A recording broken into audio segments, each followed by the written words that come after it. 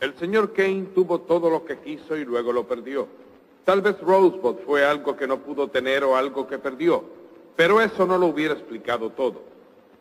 Una sola palabra no puede explicar la vida de un hombre. No, yo creo que Rosebud es solo una pieza de un rompecabezas. Una pieza que falta.